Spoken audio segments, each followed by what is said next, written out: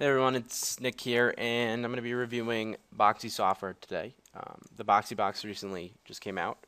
You can uh, pick that up from Amazon for around 199 uh, US dollar.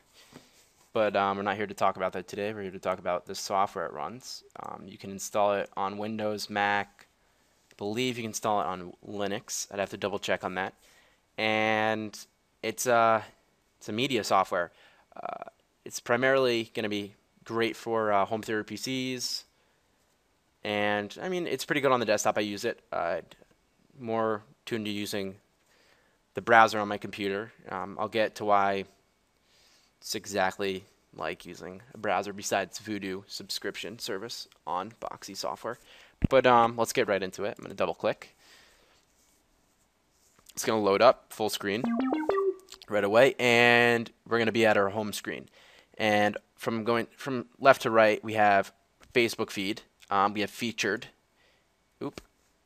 Yeah, I don't want the Vevo application. Whoops. Uh, and queued. So right now it's going to install the Vevo application apparently. Uh, but let's go right right into what we have up top. We have photos, music, movies, TV shows, apps, and files. You have the time to your right, and your local forecast. Then you have what do you want to do button. So that's change user, suspend machine, exit Boxee, and you have settings. So in the settings folder, you have local sources, look and feel, media, system, network, personal, and parental control. So local sources is going to be your local folders. Look and feel is going to be your region, screen, screensaver, language, sounds, background image, and your advanced settings.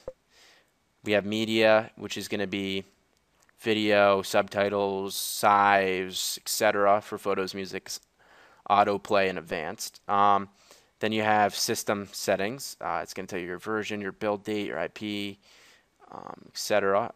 Audio hardware, so your audio output, what you want. Um, your navigation, uh, for me, because it's installed on my uh, main PC, I'm going to have uh, enable mouse and advanced. So you got some debug information, start bo Boxee on login. Okay, so let's go to network. This is your proxy settings, servers, uh, SMB client. You have personal, which is Facebook. You can hook up your Twitter and your Google Buzz. At the moment, I only have Facebook. And then you have parental controls. Over here, we have credits. Let me see what that is. Oh, that's your Boxee credits of course. So, photos, you just have photos. Um, let's go back home. Music, you have your local music.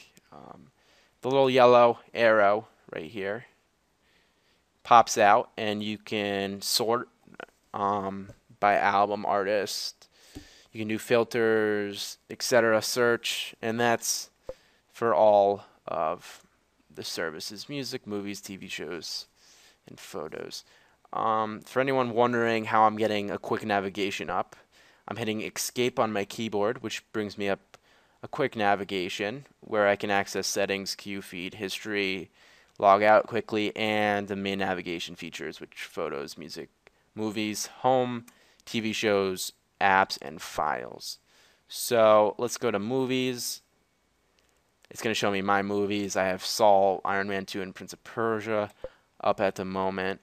Um, let me go to Music Library, and this is going to be through Vudu. So you got your main big top movies, the hot movies out at the moment, and go to TV shows. Just get in the TV show library.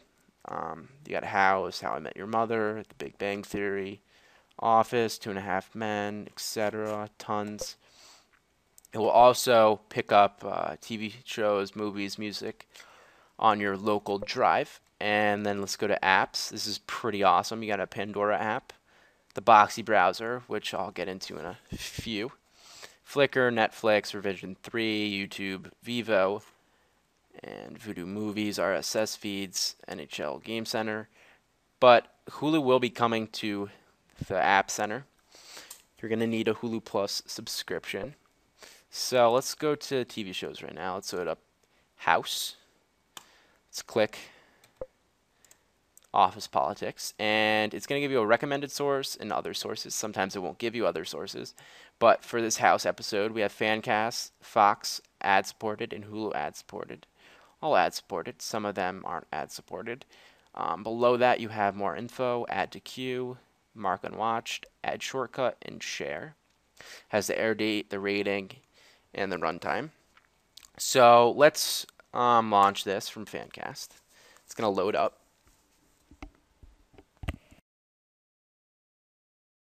So as you can see, what it's doing is it's using its WebKit browser to load the Flash on the browser.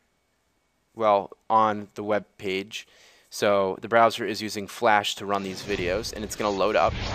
Um, I did find that some services didn't automatically put it in full screen. Um, and if you move around your mouse, it will give you a The short following program information brought to you on- limited commercial interruption. Um. Oh, jeez. But it will give you information on the movie, pause, forward and backwards, normal things. So, I'm just going to bring you into apps quickly, and I'm going to launch the Pandora app, which is one of my favorite apps, because it looks amazing.